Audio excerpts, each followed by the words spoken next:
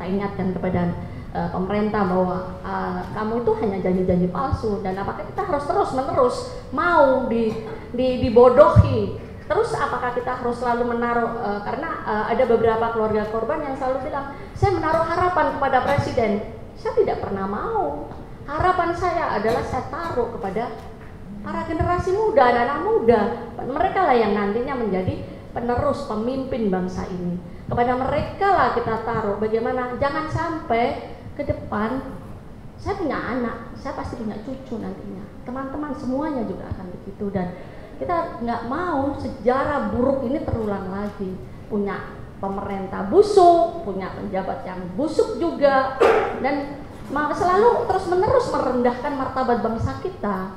Jadi ini pembelajaran yang penting bahwa nanti kalau anak-anak uh, muda ini memerintah, memegang jabatan, jangan meniru seperti itu gitu loh. Jadi makanya kita terus menerus mengingatkan, merawat ingatan, melawan lupa. Mari kita menyimak meneladani apa yang selama ini dilakukan oleh Allah. Itu.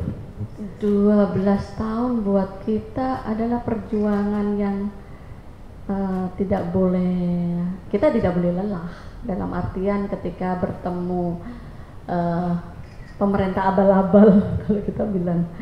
Terus menerus kita uh, ditipu dan eh, kasus-kasus uh, pelanggaran HAM dan dan soal penegakan HAM selalu jadi komoditas politik buat para uh, penguasa. Ini uh, pelajaran penting ke depan kita harus lebih lebih ha, lebih kritis lagi untuk untuk uh, terus mendorong dan tidak dengan mudah untuk kemudian terjebak pada ruang di mana uh, justru uh, ruang hampa yang kita dapatkan. Jadi uh, itu sih pelajaran yang berharga dan yang lebih penting adalah uh, 12 tahun uh, Munir ada dan berlipat ganda, dia tidak pernah mati dan terus ada menyemangati kita bahwa apa yang selama ini dia contohkan uh, karena buat saya dia uh, sebagian nyawa saya. Jadi uh, uh, dan dan kalau kemudian saya melihat hari ini uh, semangat sekali bagaimana anak-anak muda uh, justru yang sangat tertarik uh, itu pun hal yang sangat sederhana.